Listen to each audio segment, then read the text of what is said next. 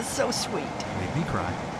And there is the defending champion, Sarah Bacon, who I, I say characterize her diving as smooth as silk. It is so beautiful and what a pleasure to watch. And she is tied for the lead at this point with Maria Polnikova. No, is that not right? Brooke Schultz is, is in first place, his daughter. Sarah Bacon of Minnesota, the defending champion. She had been second on one meter as a freshman two years ago. And last year won the event. The top qualifier this morning. This is her second of six dives. Can she defend the title? Smooth, just like silk as she goes through the water. This wasn't her best back one and a half. She needs eight and a halves to go ahead. And I think she's going to receive number of eights, but I don't know that she's going to get enough eight and a halves to be in the lead right now, but it's going to be real close no matter what. Boy, it is close.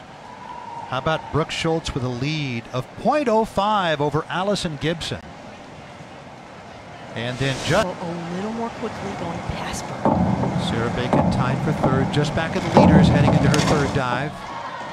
Now there is an excellent reverse one and a half, and that's what Brooke Schultz just missed slightly. So this is Sarah Bacon's opportunity to go from a tie to third to right into that first position. It's so, such a close contest, and dives like that, that's what I'm talking about. Smooth as silk, lovely to watch. Look at the nines, and that's going to put her in front, 179.9. And she will have a lead. Uh, that will vault her from fourth to presumably second, depending on what Sarah Bacon, the leader, does here. Sarah Bacon doesn't make mistakes. And that's the reason why she is such a great champion. Are you saying she brings home the bacon? Oh, I was wondering if you were going to get that one. I left it alone last year. What a beautiful reverse one and a half with one and a half twist. Sarah Bacon been through a lot. Surgeries, injuries, all the judges do reward for a great high takeoff. She will likely fall from second to third place. Sarah Bacon, the leader. Going to take care of business in her penultimate dive. Again, just knowing, having that confidence I know these dives. I've been doing them for a long time. I'm the defending champion. I have no reason to ever panic or get overly excited. It's not the best one she's ever done, but she's ahead by oh, 20 points. It was enough. Scores range from 7 to 7.5, 54.6 for Sarah Bacon.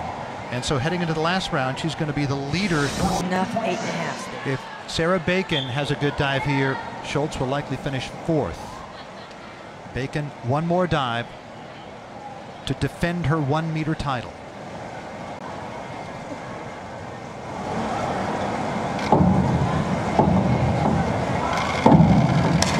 Oh yeah, and she has a great 10th year at Minnesota and he is a perfect fit for Sarah Bacon, a perfect fit. I think they work together so beautifully.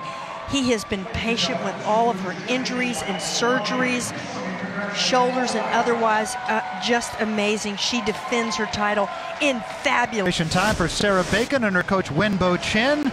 363.2. That's 20 points better than when she won last year. Sarah Bacon second as a freshman back in 2007. And congratulations on another win, defending your title on one meter. You're so consistent and yet so graceful. What are your thoughts heading into that last dive, knowing what you needed to do? Um, honestly, I was just focusing on my hurdle, getting a nice consistent hurdle and not falling off the board. Um, yeah, as, as, long as I got a good hurdle, I knew that I could nail the dive, so that's what I focused on. Sarah, I've been fortunate enough to read your tweets about all that you've been through, injuries, surgery, etc. Why do you think you are gaining momentum and getting so much better with all of this, if you will, problem prior to here? Yeah, I owe that one all to my coach. Wenbo's amazing. If you buy into his training program and listen to everything he says, you're going to get better. So just believing in everything he tells me every day at practice and really listening to him really helps me get all my dives back ready in time for NCAAs. Well, you and Wenbo are a perfect combination. Congratulations. Thank you. It's another win for Sarah Bacon on one meter, defending her title from last champ.